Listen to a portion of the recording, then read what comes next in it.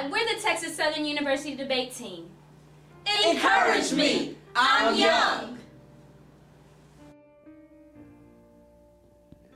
Hello, welcome to METV. I am very, very privileged to be here with the great Dr. Freeman from Texas Southern University. I told you that we were going to get this, and we are getting it for you. Dr. Freeman, how are you? Oh, I'm quite well, thank you.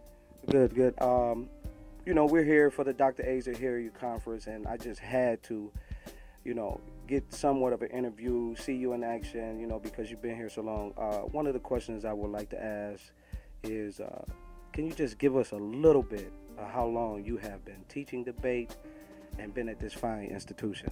I came to Texas Southern University in 1949, but I didn't come to teach debate. I came to teach philosophy. I came merely as an experiment. I wanted to convince myself that either a person trained in religion could or could not succeed on a state college campus where there was separation of church and state. I did for nine months. The experiment worked.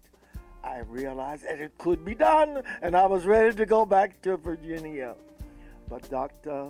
O'Hara Lanier, the first president, and Dr. Bolden cornered me and said, Tom, you cannot go back. You must stay. And so they convinced me that the opportunities were so great here that I couldn't afford to leave.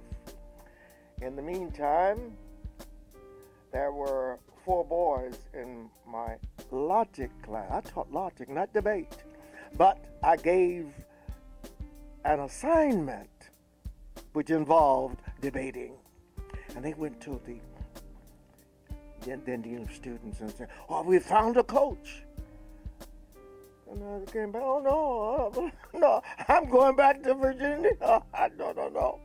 And they kept on after me and finally they got me to consent. But I consented on a condition. If you four fellows will be on the team, then I will coach it. And one of those four fellows is a retired provost from this university. Another one is a retired attorney. Two are retired attorney. One is deceased now. But I worked with those young men only one semester and then went to my alma mater and we won both decisions at my alma mater. And from then on, the teams developed year after year after year, winning at the large, prestigious schools who had programs for a number of years, and ours was infant, and they won. And I suspect that it's because of their reception that I decided that the nine months would extend. Now, I never dreamed that they would extend to 59 years, no. but I was willing to work after the nine months. We, we know uh, you have been here for quite some time. And the other question um, actually would be how and what it was like. Most people don't know that you taught the cast of the Great Debate. How was it to, what was it really like to teach a full cast on debating? Well, I don't think we taught the full cast. We provided some learning experiences for the actors who were involved in the debates.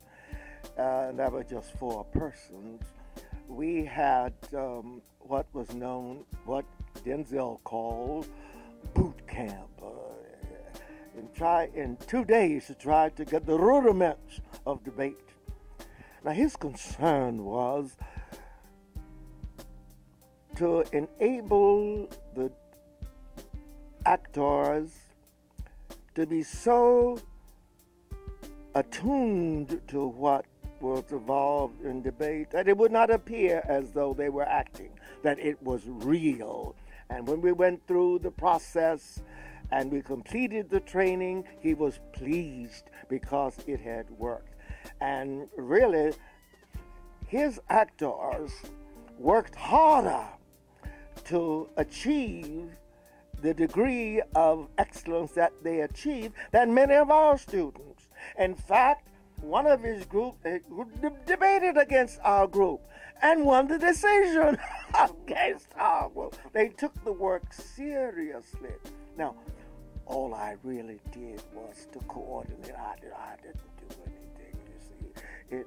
Those we had three of my assistant coaches, uh, Tarek Brown, uh, uh, Lachelle Sargent, and Claire Bailey, to really take them through the ropes. And all I did was back and watch them grow and develop. And Denzel was quite pleased with what he saw and what he witnessed. Yes. Now, he was not in the workshop himself. We had interaction, but the students uh, interacted with the actors in the movie. Do you think?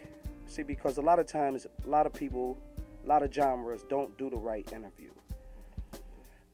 What would your legacy mean to our community? In your words. It is really hard to say what it would mean because the legacy is not over. It's still in process. I don't know what it's likely to be. Now, somebody who is a beneficiary of the legacy would be in a better position to say what the legacy is.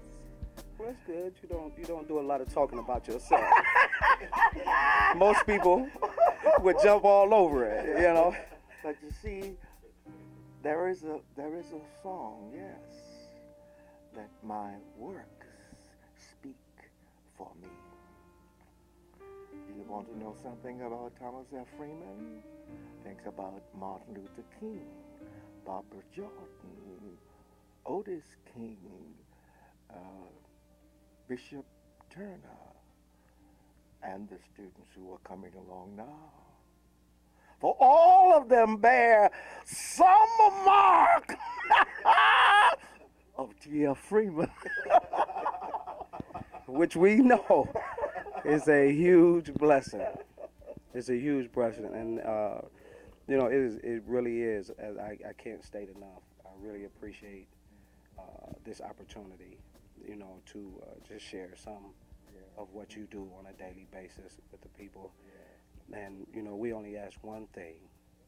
We asked your class, so we got to get it out of you. Mm-hmm. We need you to look into that camera and say, encourage me, I'm young.